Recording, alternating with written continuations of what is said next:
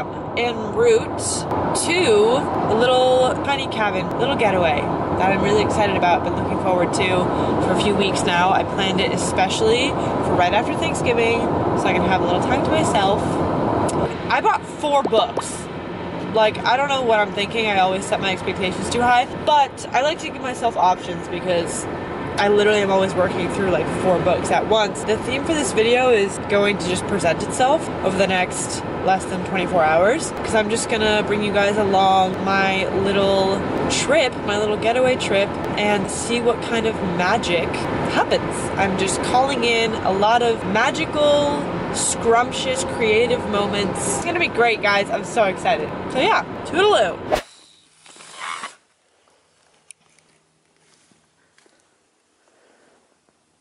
Okay, here I am.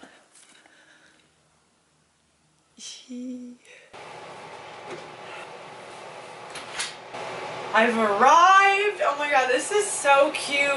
Look at this place. So cute. This I'm gonna have the coziest night of my life. Let's go. Oh, and then this is what the outside looks like. I'll show you the outside. Cute. I will be having my morning tea there. First things first, I'm gonna get myself settled in, boil some water for tea. I'm gonna put my phone away, and then I'm gonna just vibe. I'll whip out a book, I'm gonna color, I'm gonna play some music. I downloaded some Alan Watts lectures, and then I'll just be chatting with you guys. Okay, phone is going away. It doesn't actually lock, but you know, it's the effort that counts. Now it's tea time, and then I'm gonna go sit outside for the last couple minutes of daylight. Woo!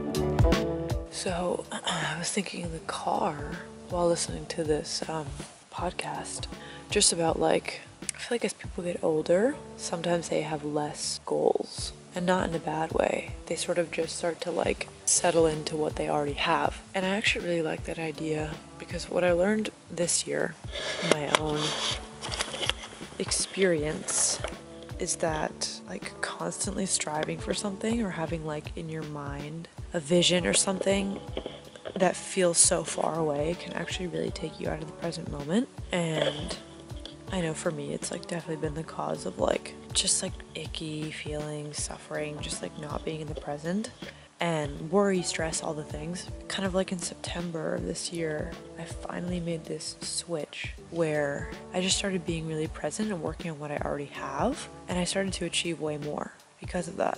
And this this trip definitely like aligns with the idea of just being more present and like caring a lot more for nourishing who I am right now, knowing that the person I am now is like who is the same person that has everything I want in the future. So for the longest time I was differentiating those two people and thinking that who I was right now like wasn't good enough or like had to do something, you know, far-fetched to get there. But when I started to just look at it like day to day, how can I get better? How can I work on something that I love today? It just really changed the energy and I really liked that. So I'm just feeling so pe- at peace here because I it's like the only place I need to be. I feel like that's kind of a divine feeling to just be like I have nowhere else to be. And because of that, you get to be present and I think that's kind of beautiful.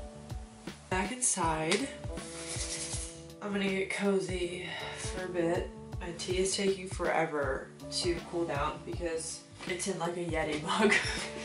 they make those Yetis way too good. Look, I brought cacao. I'm gonna get myself a cacao.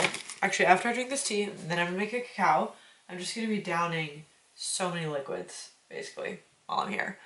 And then I'm gonna have, uh, we're gonna try out this jerky, and then we're gonna see where the night takes me. Okay, update. Music is playing on this cute little Bluetooth slash radio, fun. And I'm making soup, making soup, delicious. And I'm going to use this cute little uh, guide that they uh, that they provide. I'm gonna set my intention and I'm gonna write it in crayon because why not? And then I have all my books. Those are three of my books. The fourth one is in my bag. And uh, I'm gonna do some of some drawing and some reading and just gonna vibe it out for a couple hours. So I'll see you then. Hi there. Um, I actually don't even know how much time has passed. Let me find out. Okay, it's probably, I think I was sitting outside like an hour ago. Anyway, I'm making myself a cacao. I've just been sitting, I've just been sitting here, in this chair. It's just so interesting, like when we slow down and are just like have nothing to distract us, like no scrolling, no TV. We just sort of, um, well, I don't know what happens to you, but I get, I kind of sometimes get emotional. I actually cried like a little bit, but in a good way. So I just felt so grateful for everything in my life, and I was just like, wow, I, that's amazing. Like, you know, I'm, this is kind of a challenge. Like, out here, being alone is like kind of a challenge in a way, because I, you know, have family and friends and love my boyfriend so much, and it's really interesting when you're just sitting by yourself and you're like, huh, you just notice everything because it's usually we're distracted and it's so easy to just avoid. I don't know. So that's just something I'm thinking about is like how much we distract ourselves from just sitting with our feelings, good, bad, neutral, whatever. And I, I'm such a, I don't know, an empath, I guess you'd call it. I feel things so deeply, so just being alone, the water is making a lot of noise. Okay. Um, what I was saying is that I think it's really good to take a break, to pause, to just sort of like, yeah, literally just pause and like take away the usual amounts of stimulation that we have going on in our life because it can, too much of it, as we know, can really rob you of whatever is truly present for you. So I think that's just such an important reminder. Like, yeah, of course it's easier and more comfortable to just like continue on with whatever I had going on in life and to just keep going and stay in the same place physically, you know? But, oh my god, this is the best part. Check this out. Ooh, trying to not spill it everywhere. Yeah, long story short, I just think that that's a really good practice is to just pause. I think that's why like meditation is so powerful because it allows us to slow down and be with our thoughts. Which is like obvious, sort of, but sometimes you need those reminders. So, anyway, I just made my delicious cacao. Oh, it smells so, so good. God, I love this stuff. It's 5.30. I literally feel like I could go to bed right now because it's dark out and I'm just, yeah, I'm just like sitting with my thoughts, which is nice and fun. so I'm gonna drink this cacao and uh, I think I'm gonna do some reading. I brought this like, this book called The Artist's Way, which is about like creativity and like you like has journal prompts to work on your creative self I guess so I'm gonna do that for a little bit I'll just give you a little look a little oh my god oh god timber okay I'm just giving you a little look see at just made some water this is my cacao I'm chilling here. Pulled the shade down just to I don't know chill. I made some soup. I nearly burnt my finger off pouring it into the bowl. And I'm gonna sit here and just keep hanging out.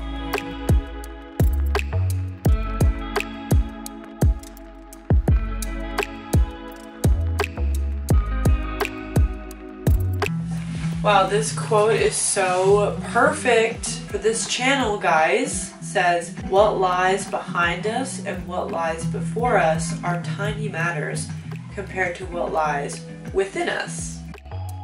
Love that. Here's a good Zen quote for you, one of my favorites. When you wash the dishes, wash the dishes all that means is to just do the task that you are doing. Don't think about the other tasks that you have to do on the current task. Eating is important, so I'm going to make some pasta. Should we watch it boil? Should we just stand here and watch it boil? And I'm on my third cup of hot beverage. So I'd say we're having a 10 out of 10 night so far.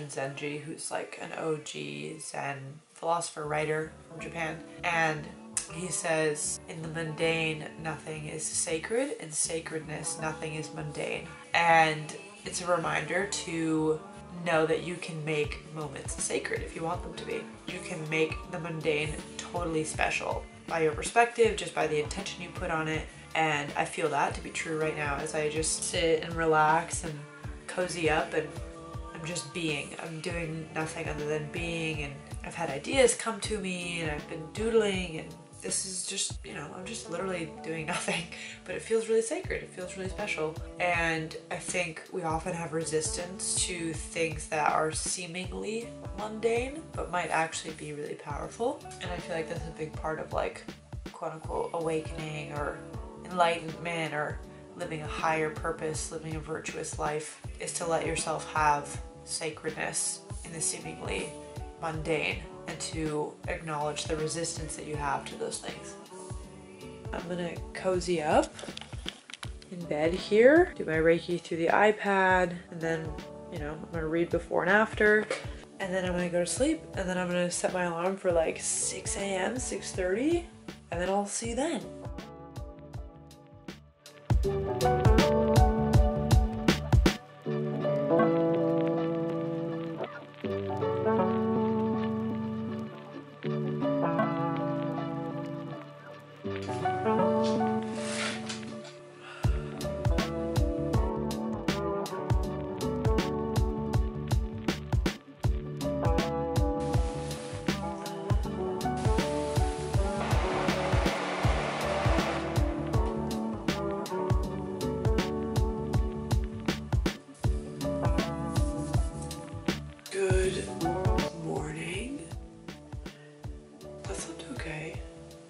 7.45 now.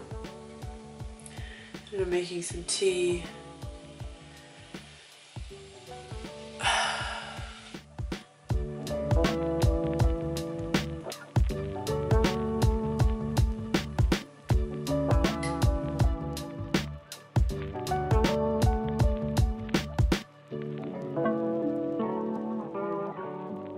Okay, so I've just read a part of this book, Becoming What You Are, Alan Watts. It's a collection of essays.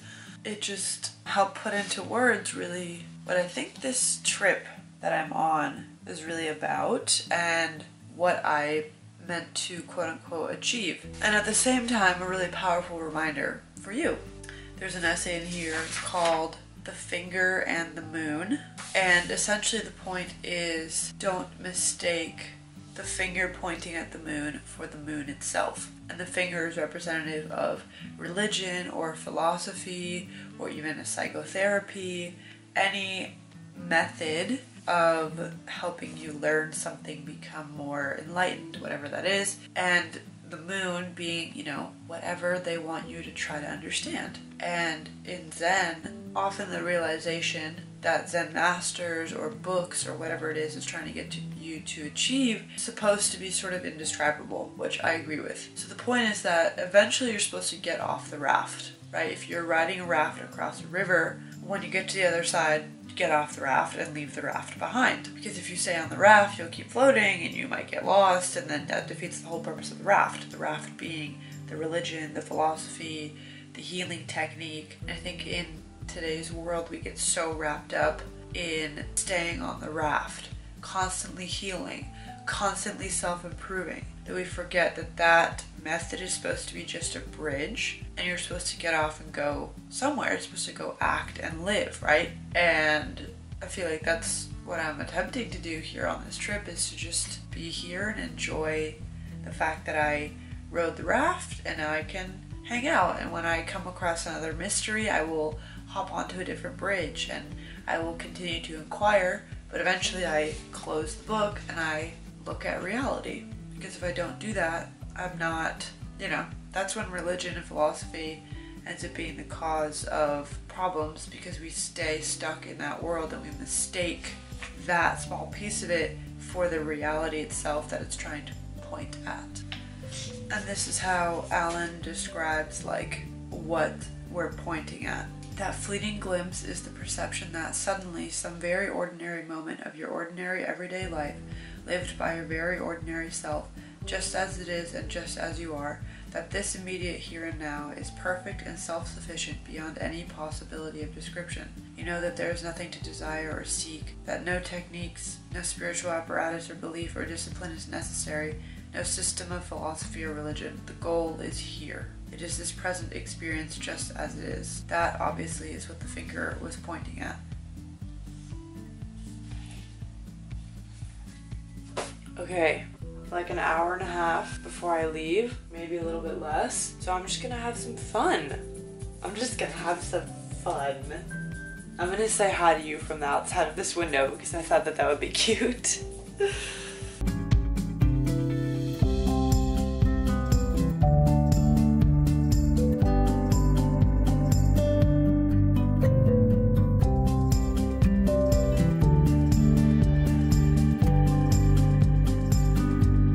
Well, that was fun. I'm gonna take you outside with me now.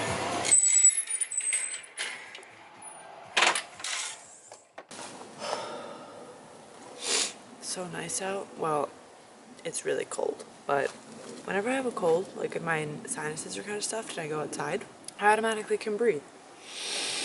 Isn't that amazing? I actually think that's really worth noting. When you're sick and you go outside, you literally feel better automatically. At least that's what happens to me.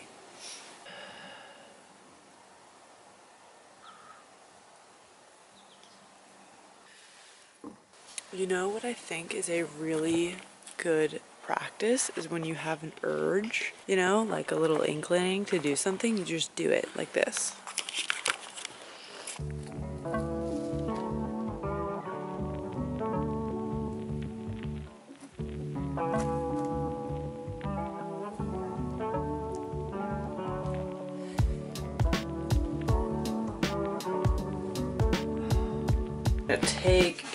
Glorious, glorious shower.